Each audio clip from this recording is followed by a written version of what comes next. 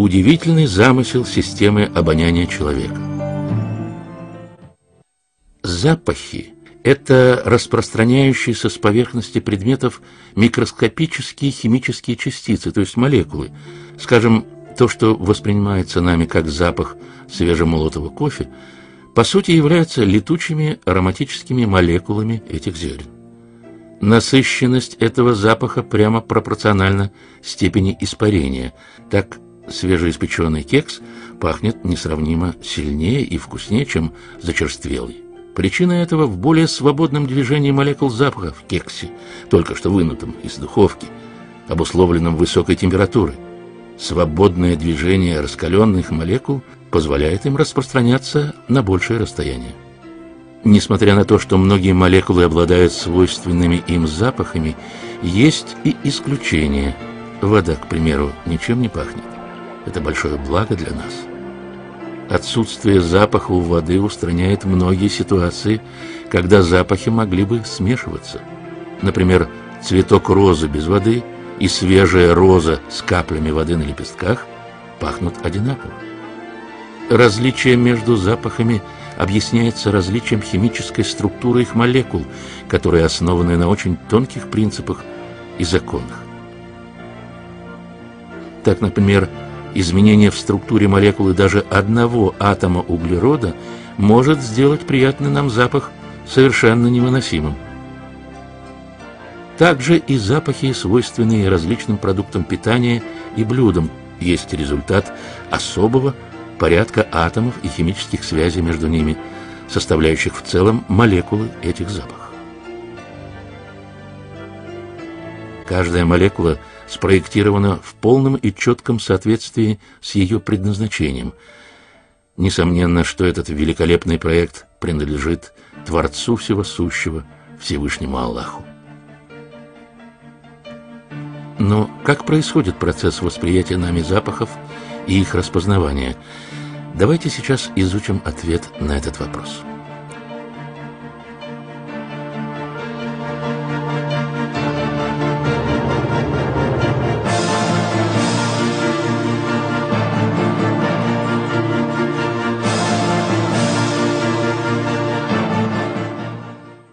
При каждом вдохе мы вбираем в себя через ноздри смесь газов, состоящую из триллионов молекул называемую нами воздухом. Эта смесь содержит в себе и невидимые невооруженным глазом микроскопические молекулы запахов.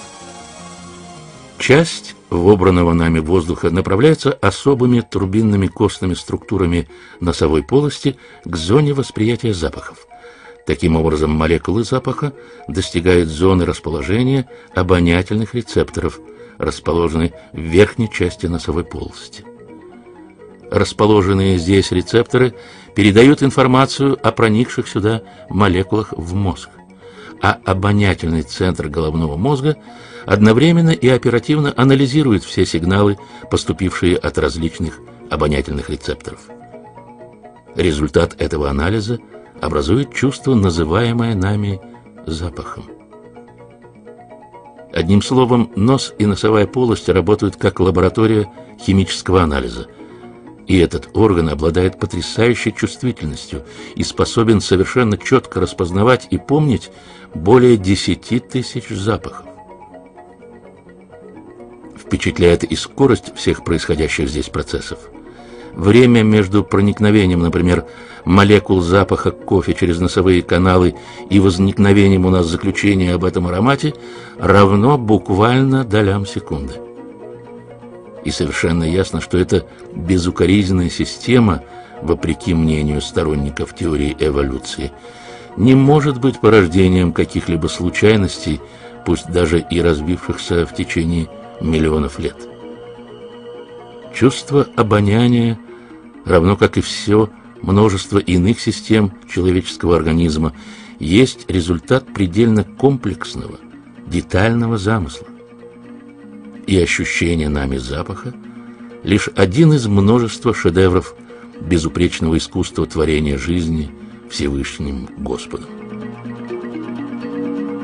На сегодняшний день научные исследования строения системы обоняния еще продолжаются, и каждый новый факт все четче выявляет безукоризненность этой комплексной системы.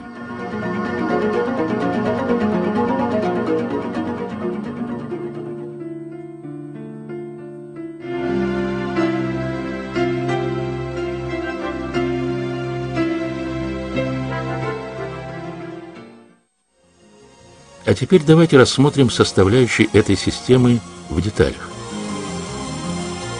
Поверхность обонятельной зоны, расположенной прямо под глазницами в носовой полости, покрыта слизистым секретом.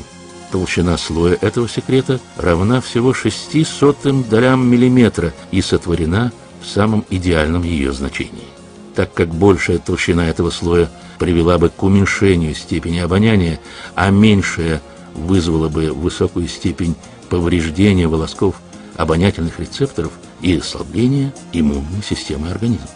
Процесс восприятия запахов начинается со слизистого слоя. Для контакта частиц запаха какого-либо вещества с обонятельными рецепторами необходимо, чтобы частицы преодолели этот слой. Для этого сотворены специальные связующие белковые структуры. Эти структуры, расположенные в обонятельной слизистой оболочке, соединяются с молекулами запаха и служат им своего рода проводниками. Этот порядок поражает своей сложностью и неповторимостью и являет явное доказательство сознательного сотворения этой системы для человека.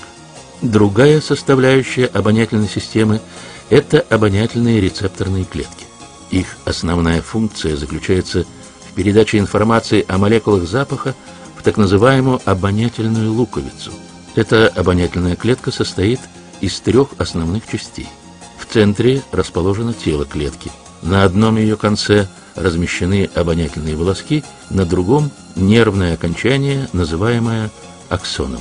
Обонятельные волоски – это область контакта с молекулами пахнущего вещества. Число этих волосков колеблется в пределах от 10 до 30 а длина от 10 до 15 сотых долей миллиметра.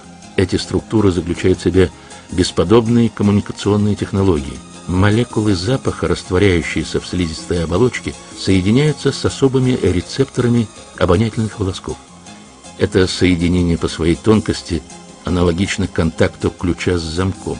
Во время соединения в обонятельной клетке возникает электрический сигнал – Обонятельные клетки преобразуют информацию о молекулах запаха в электрические сигналы. На этом этапе в аксонах, расположенных на другом конце обонятельной клетки, происходит множество удивительных процессов. Для перенесения к обонятельной луковице возникшего в клетке сигнала аксоны вступают в кооперацию. От 10 до 100 аксонов для того, чтобы пройти в обонятельную луковицу, образуют единый пучок и сообща проходят через отверстие решетчатой кости. Здесь мы становимся свидетелями еще одного невероятного явления – особый проект решетчатой кости. Эта кость наделена пористой структурой, позволяющей пропускать через себя обонятельные нервы. В противном случае взаимодействие нервов было бы невозможным, следовательно, даже осуществление всех процессов не привело бы к появлению чувства запаха. Другой важной составляющей обонятельной системы является обонятельная луковица. Обонятельная луковица размещена в переднем отделе головного мозга, прямо над обонятельным центром мозга и лобной частью черепа. Соответственно, двум обонятельным зонам носа в головном мозге расположены две обонятельные луковицы. Величина каждой из этих луковиц примерно с фасолину. Обонятельная луковица работает как информационный центр. Все сигналы, поступающие с обонятельных рецепторов, собираются сначала в этом центре. Миллионы единиц информации проходят здесь повторную систематизацию. После этого они посылаются для анализа в определенной точке мозга. То есть этот крошечный орган – это центр безупречной координации между миллионами обонятельных клеток. Очевидно, что эта превосходная система сотворена сообразно уникальному проекту. Этот проект творение Всевышнего Аллаха.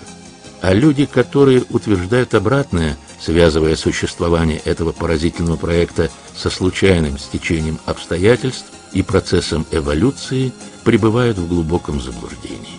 И ответ, который человек уверовавший во Всевышнего, должен давать людям, отрицающим существование Господа, не спослан нам Всевышним в Коране. Ужель отвергаешь ты Аллаха, кто сотворил тебя из праха, а затем из капли влаги, а затем сделал тебя человеком? Но Он, Аллах, мой Господь, и я не предам никого в равные моему Господу. Понятие носа обычно ассоциируется с чувством обоняния, хотя проведенные исследования показывают, что за обоняние отвечает только 5% всей носовой полости.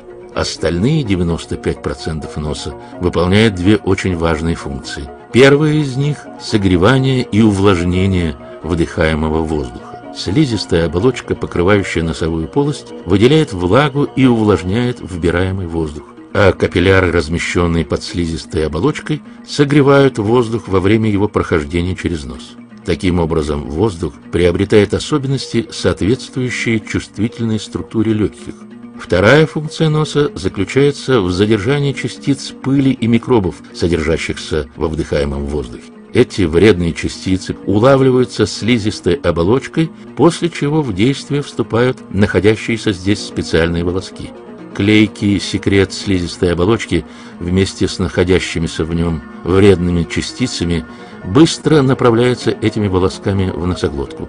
Затем он либо выводится наружу во время кашля, либо же, проглатываясь, уничтожается высококислотным желудочным соком уже внутри нас. Как видно, слизистая оболочка, клетки и волоски образуют в носовой полости своеобразные очистительные сооружения. Совершенно очевидно, что эти системы функционирования носа являются в то же время превосходным примером безупречного инженерного проекта и ясным доказательством творения их беспредельным разумом Творца.